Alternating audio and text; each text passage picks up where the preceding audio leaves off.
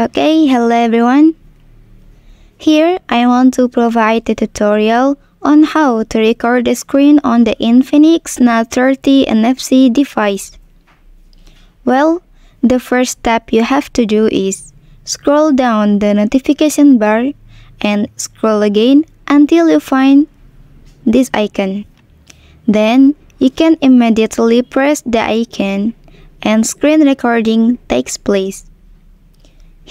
You can pause and continue recording by pressing this button.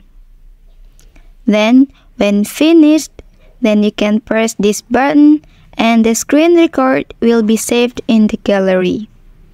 Okay, and just for your information, that this method can also be applied on Infinix Note 30 and Infinix Note 30 Pro device. If you are helped by this video, don't forget to subscribe this channel. Thank you.